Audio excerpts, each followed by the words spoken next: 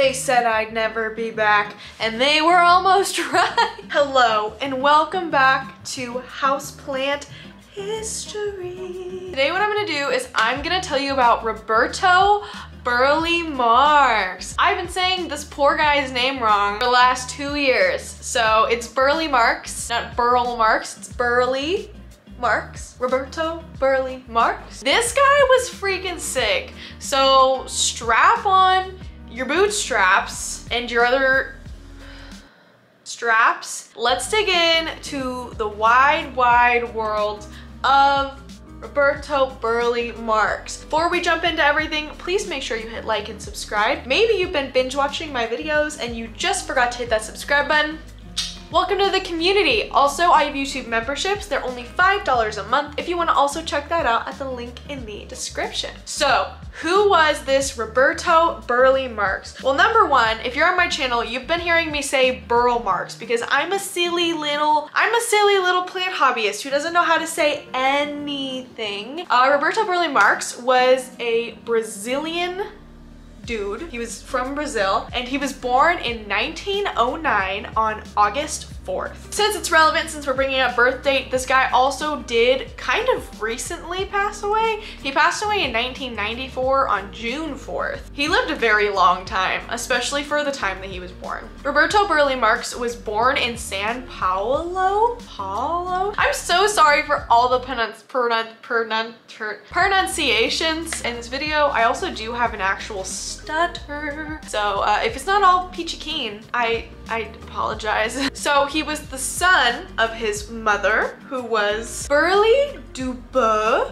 Dubé, Dubé. She was French, and then a Jewish German, Wilhelm Marx. So he was Roberto Burle Marx, took his mother's middle name, and it was it was great time. So the French and the Jewish part are gonna matter a little bit later. After he grew up in Sao Paulo, he and his family moved in 1913 to Rio de Janeiro. In 1928, Roberto Burle Marx went to Germany to go and study fine arts uh, in Germany. He would frequent the botanical garden of Berlin, and that's actually where he fell in love with tropical plants for the first time. Uh, he fell in love and he spent two years, from what I could find, and this was a long time ago, okay? So before computer records in 1928, and then in 1930, he went back to Brazil. So I looked and I could not find a source anywhere that really talked about it. Roberto Burle Marx was half Jewish and half French. He was in Germany studying during a horrible time for Jewish people. So he left in 1930. Germany was under horrifying rule only three years later. Once he was back in Brazil, he attended in 1930 the National School of Fine Arts, which was in Rio. At this school, he made many lifelong friendships that we're gonna talk about a little bit later, kind of. But he made a lot of lifelong friends and also friends that would end up in very powerful positions later in life. In terms of his professional career as an artist, he was described as avant-garde, cubist, and also abstractionalist. In his later life, he was a critically acclaimed landscape artist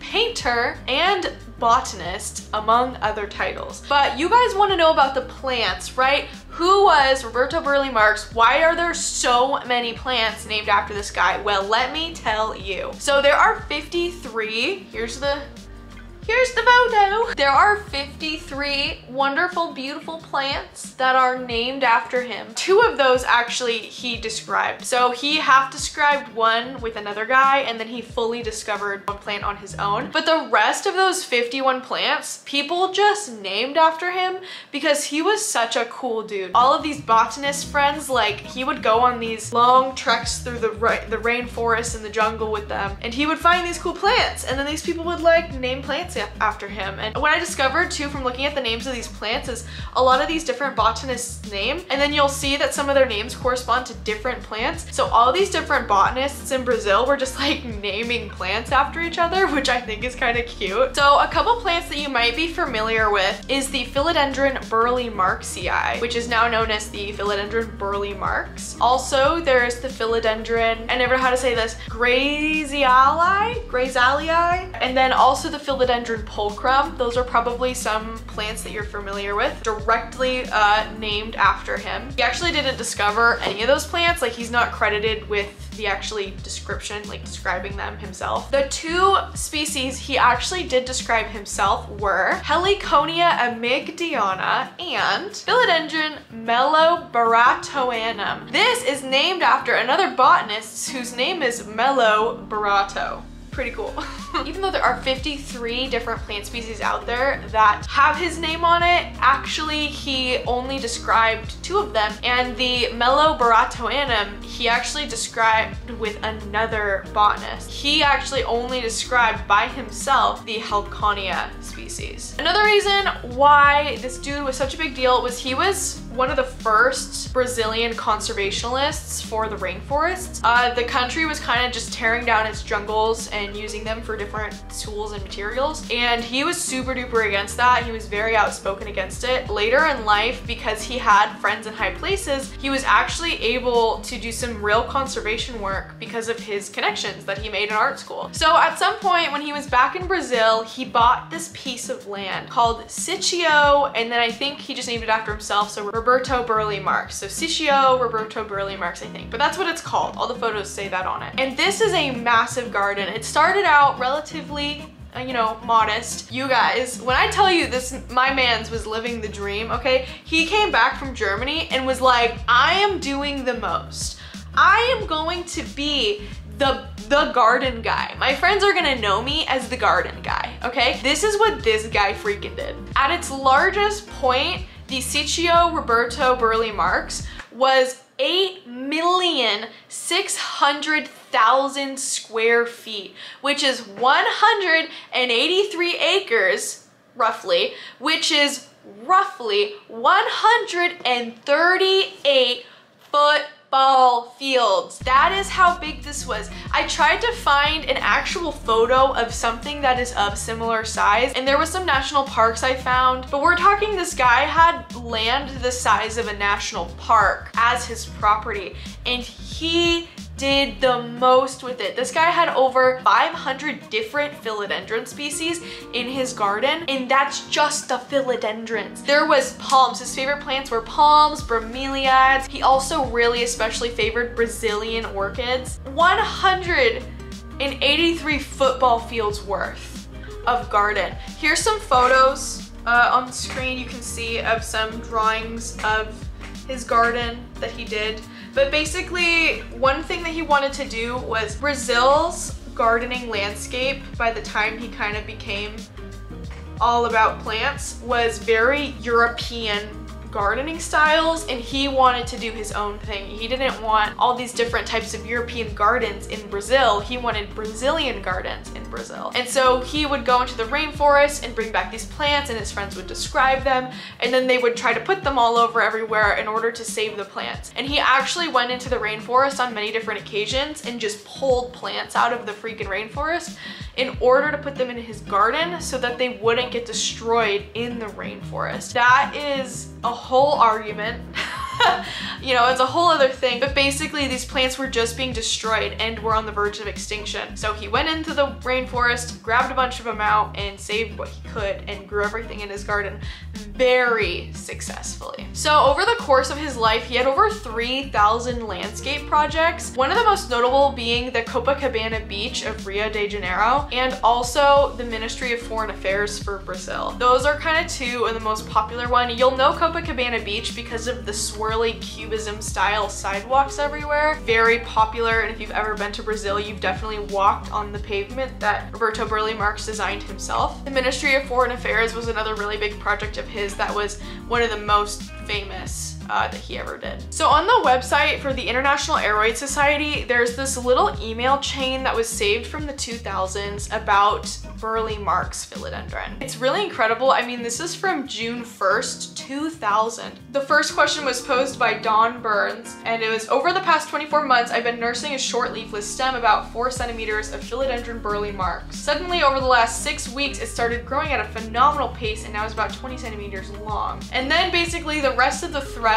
is the different people posturing which plant it could be, whether it's the Burle Marx Fantasy or if it's the Burle Marx. Um, and then also talking about the Burle Marx Fantasy, this is a really interesting story I want to end this video on, so don't click away yet. So I found some gossip on the internet on some random Aroid comment page. I'm talking, I had to click through a couple different Google pages of answers to get to this. This was posted by Gina 1960, April 5th, 2020. So this is relatively recent, literally just over a year ago. Someone asked whether or not Philodendron Burle Marx Fantasy was a hybrid because they couldn't find any information about where the plant came from. I also was trying to find information about where the Burle Marx Fantasy came from because it wasn't on the list of plants I showed you earlier. Gina 1960 responds with, the story goes that this little philo was discovered climbing up a tree in his garden. I'm not sure anyone really knows where it's from.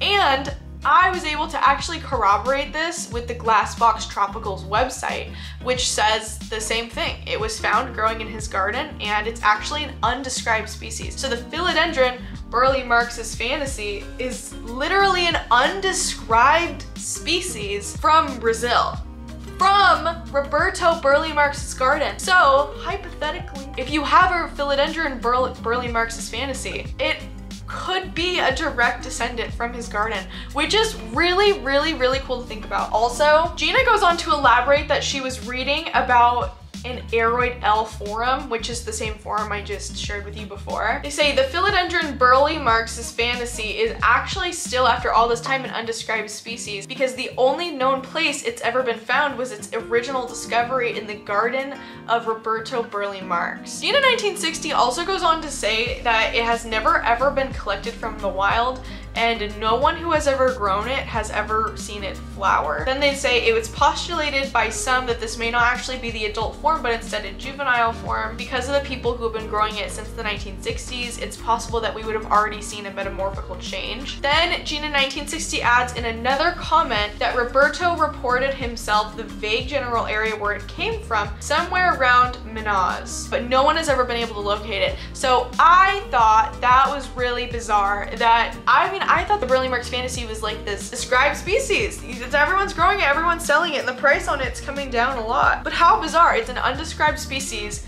and I was able, again, to corroborate this information, at least a little bit of it, with the Glassbox Tropicals website who says the same thing. So I hope that this video was able to give you some little bit, a little bit of more information about Roberto Burle Marx. Most of his work was really in landscape design and painting. So in terms of the plant stuff, there wasn't that much because that was really a lot of his private life was the plant collecting and the, you know, things like that. So I hope that this gives you a little bit of a background. A lot of people who go to art school and study cubism and also people who study landscape design study Roberto Burle Marx in school. He's an absolutely incredibly significant figure in the art world and also the conservationist world. So it's pretty incredible that he had his foot in so many different sectors of the world. Anyways, I hope that you enjoyed this video. I hope it shed some light on Mr. Roberto Burle Marx and I hope that I was able to kind of, you know, I don't know, add something, maybe tell you something you didn't know about yet. Thanks so much for watching this video. Please make sure you hit like, subscribe, and tweet me at Plant Me Ashley. Let me know what other houseplant history episodes you would like to see.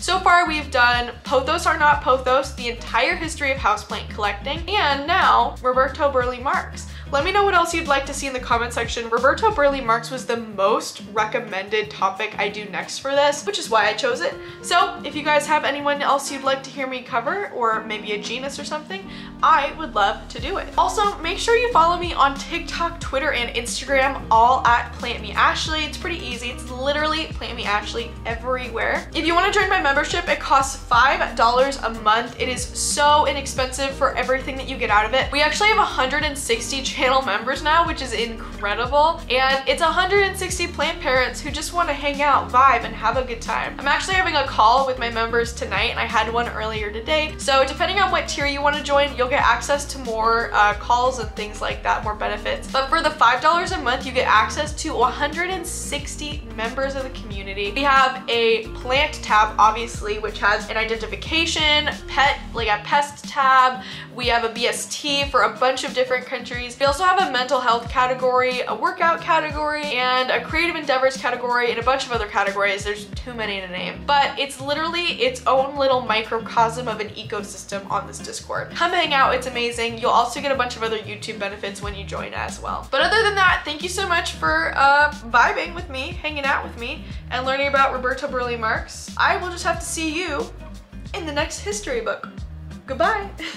Thank you so much for the extra channel support to the Planted Cauliflower, All the Green Places, and Botanicas.